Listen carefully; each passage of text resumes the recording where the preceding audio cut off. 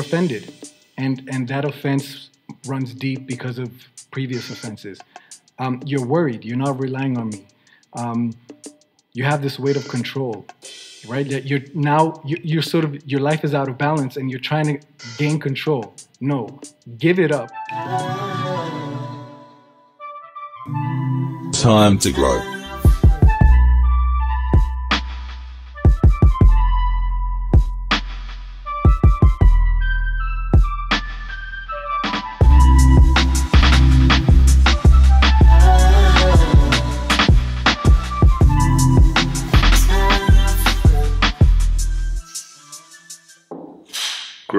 Podcast, take one. Jay, why don't you kick kick us off? Um, Hi guys, this is Amu. He's my partner in crime and my confidant. coefficient of drag. Do you want to talk about the title of today's podcast? Sure. Um, I think there's a, there's a small backstory to this, right? Hey guys, this is Josh, and I'm his Robin to his Batman. Going into the year, I, I started with this whole idea of thinking about, you know, what what are things that I don't want to carry into the next year, and what are things that would help me to offload so that I could reload. And therefore, it's all about baggage, right? End of the day, you know, I just realized the fact that the more you carry, the slower you go, right? And I learned from a friend recently about the fact that the longer the hike, the smaller the bag, Mm, that's interesting. right? Because Relevant for Switzerland too. yeah, it's relevant for for, for any any place uh, and for anybody who hikes, right? Because you have to really downsize your bag if you really want to go far. Mm. And so that got me thinking about what are some things that I should offload. And I thought about these three things. Uh, I think we should discuss that today on the idea of what are baggages, weights that we're carrying, which slows us down. I, I think Go it's ahead. interesting that you talk about offloading because usually when I think of the new year, I think of what can I add to this year, Mm. right? Like, so I think of skills or I don't know, Mm. uh, financial goals. I think of goals, right? Like, uh, I want to be healthier. I don't really think of offloading, right? Like, so maybe maybe talk a little bit about that more. Like, let's say, for example, I, I would say I want to cut out sugar, and that's me looking towards health. But maybe the offloading would be I want to stop having cr- sugar cravings. I don't know. Like, d- dive a little bit deeper into what you mean by I mean- offloading baggage. Sure. Yeah. I'm usually packing up a lot of gear for productions and stuff, right? And then um, I'm always, you know, finding ways to keep things the most efficient. So I was just thinking about uh, this, you know, small little bag that I started with. Um, it's the tiniest of the bags, and then I realized all that I want to fit in uh, cannot fit into this. So I have to be precise about what fits in. And it got me really thinking about the fact that if I really want this year to count, if I really want this year to uh, help me achieve all that I I think God has put on my heart, um, I really need to be intentional about what fits into this small bag. Because many times we think the bag is unlimited, but the bag is so limited. And the bag is limited to the point that it's only so many hours and so many things and so many things that you can fit in a day.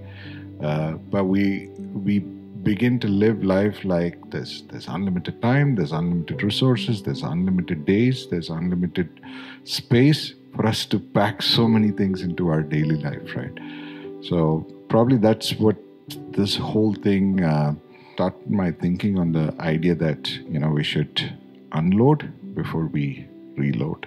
The object that you push against, right? So, for example, if you were talking about uh, driving a car through a windstorm, right? Obviously, you you have to exert more pressure to push through, isn't it? So the only way to get across easier without having to put in extra effort is to reduce the weight. So I always think about these things in this sort of a scientific way, where um, I was thinking about, you know, there's there's always a drag coefficient, right? The the drag and the weight that that causes us to slow down, and um, that's what we want to discuss today about. And I thought about three things, but it all started with this one story of, uh, you know, me having an offense with a friend.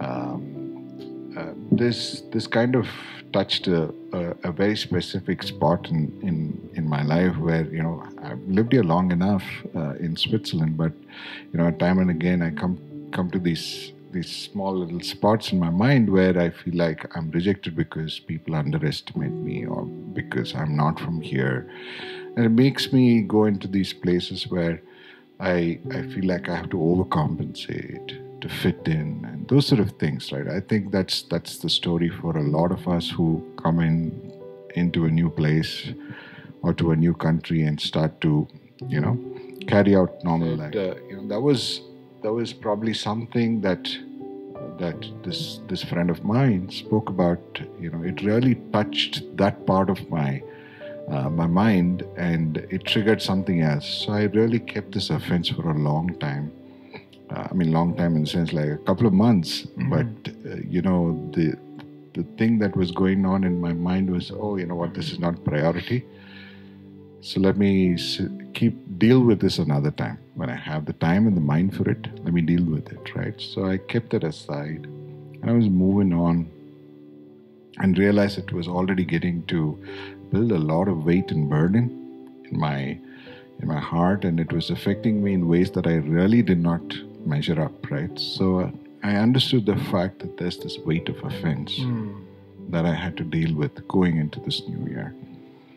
I think that's that's fascinating, right? So the offense started becoming a weight. Yeah. Could you dive deeper into that? Like, was it because of how you felt, or was it because you didn't address it immediately? Like, what what was your feeling, and and how did you feel it okay. becoming a weight? How did you feel it becoming a coefficient drag? Yeah, it was dragging me down literally to the point where, um, you know, I was thinking about it. I was losing sleep and I was anxious. I was also thinking about the fact that, you know, it, this one instance leading to all the different examples and experiences that I've had in the past. I'm also thinking about why why do I have to go through such a a, a draggy feeling in my mind about the fact that it's uh, it's something as simple as a friend saying these things, and uh, how deeply it affects me to to carry that offense to the point that it becomes a burden. And you know the thing about offenses is the fact that we always carry this this burden of bitterness, right? Mm. And the burden of bitterness is not something that that's easy on you. It weighs you down and most of the time, we carry grudges on other people, but the grudges are not affecting them in any way. You know, it's like somebody said, you know, mix a cocktail of poison and then you drink it yourself, right? Yeah. So that's what bitterness does to you, isn't it? it so it, was. It basically permeates all over your life, yeah, right? Like you, you're affected by that by that offense to the point of bitterness and then you're you're sort of affecting your family as well you're maybe affecting your friends or maybe you're isolating yourself yeah. so it sort of permeates through through your life the years coming you're offended mm. it's creating bitterness and then you're kind of trying to look ahead for the year and then you're also having this weight of worry uh, yeah. as part of the coefficient drag yeah. i think somehow it was all connected i think this opened some doors uh, which started to make me wonder about the fact that, oh, you know what, yeah, I'm not enough. So whatever I am trying to accomplish is definitely not not up to my standard, right? And then it also gave me this, uh, you know, this deep-seated idea of of not being able to achieve the the dreams that I had set out to achieve, and it started to take me down the spiral of thinking, oh, you know what, I don't have enough. You know, I don't have enough resources to achieve the dreams that that probably uh, that I had set out to achieve last year. Mm. And um, you know, it's always the idea that when you don't have enough, then you worry about having enough, mm. and you worry about what could you do to make things right. So it's that's one thing to have an idea of, of a God given vision coming into a new country and, and, and trying things with your own resources and you know your uh, ability to put things together. So all that was weighing me down, and I think this offense that I was carrying, this weight opened up, you know, A can Uh, of worms. it basically. opened up a can of worms and then it got me to worry um, and then you know the thing about worry is that you start to control. You don't want the narrative to be managed by somebody else. You want to manage your own narrative. And so then control steps in and then you start to try and manipulate and and push things through the way that you imagine it. With with your own power. Yeah with Instead- your own power. instead of relying on, on God and the Holy Spirit to guide absolutely. You. Mm. And then there's no god in this equation because the moment you start controlling you've already you know started to take control from god isn't it Kind of reminds me of the story of Jacob Mm. and how he, all his life, he's being told that he's second fiddle, right? Like even the name is the one who who grabs at the heel. yeah And I and I remember thinking of this story uh, in another context, and what's very fascinating is that he he took his older bro- brother's blessing yeah and and through that created a ripple in the family. He he he he he destroyed the family and he ran all those years. And what's interesting is he wrestled with God, right? Like uh, if you don't know this story, you should uh, check it out in the Bible. But he wrestles with God all night, and at some point he goes to God and says, "Bless me." yeah and and he says i'm not letting you go until you bless me and the interesting thing is god doesn't say i bless you with health i bless you with things. Jacob was already rich by that time. He had he had accrued amount of wealth. He blessed him by changing his name. He blessed him by changing his identity. And that's that's what's so fascinating right? Because god is basically saying you know josh you're offended. And and that offense runs deep because of previous offenses. Um, you're worried. You're not relying on me. Um, you have this weight of control right? That you're now you, you're sort of your life is out of balance and you're trying to gain control. No give it up. Let me change your identity. Come back to me Yeah. and let me let me change that identity. You you've kind of lost your way and, and here's the way. And your identity is that you're my son you're loved um, you're it cherished. starts to change your your idea of your own identity. So they were i mean in in in all its ways right identity and and rejection they i, I think they go together so well right? And you know what we're discussing today these three things the weight of the offense the weight of worry and the weight of control all these three things that we want to offload you know it starts with this fundamental idea of somewhere it's it's rooted in the identity of uh, who you are and, and the acceptance of it right so many times we seek that acceptance horizontally and uh, that's where I think we run into problems. I think um, in in a world such as today, the enemy is just waiting for this sort of an opportunity, just an opportunity, you know. We're now in February. The year has started. These were your core coefficient drags weight of offense, weight of worry, weight of control. Maybe in practical examples, you can maybe in quick fire steps give us like things that you did to, to break or to really let go of that weight. And then I'll summarize with, uh, with the Bible verse. Sure. First things first, I made sure I I dealt with the offense. You know, I put it out for three weeks. I mean, three months, and then I realized that the the longer it took, the more difficult it got to go back and you know bridge this with a brother, right?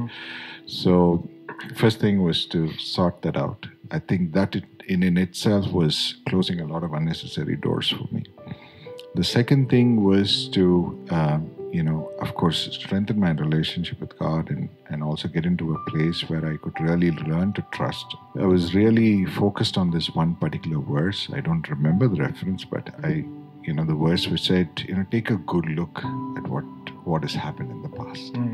And it got me thinking about all the different scenarios, you know, the provisions, the the protection, the providence, the the element of uh, of uh, you know God's reliability and faithfulness. It got me, you know, kickstarted on this idea of uh, trying to rebuild this trust. One of the things that I've really wanted to build as uh, as a family, as the leader of our family, is to get back into this idea of you know worship and and getting your heart set right uh, because a lot changes over worship you know. Mm-hmm. i think that's that's fundamentally the three things that uh, that i have done in this year um, to get back into the thing. So but you see it's already february right? And so i would have loved to do this in in december you see most of the time you go into the new year you think it's a clean slate but you also have a dirty slate to to get rid of you know at the end of the year right? So that i think that's also the place that most of us need to focus on.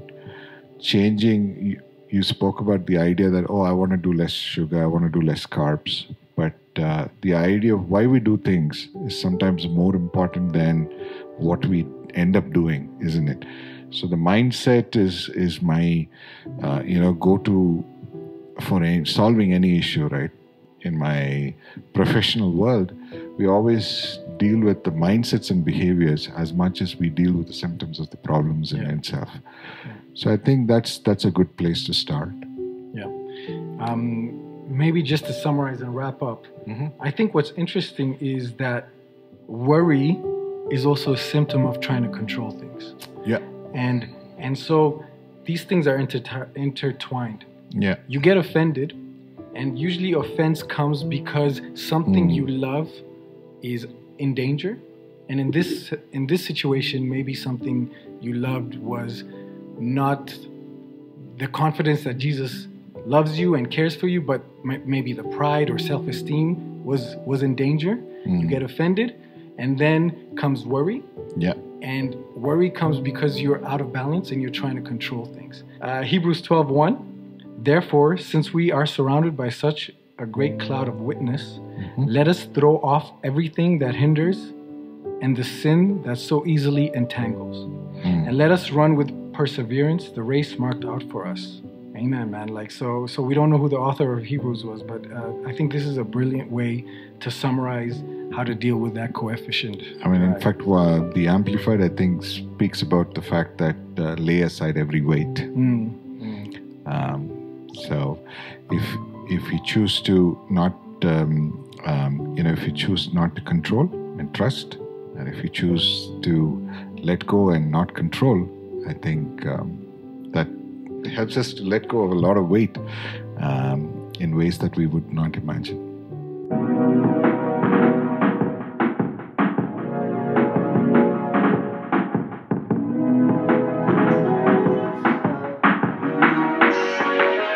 Time to grow.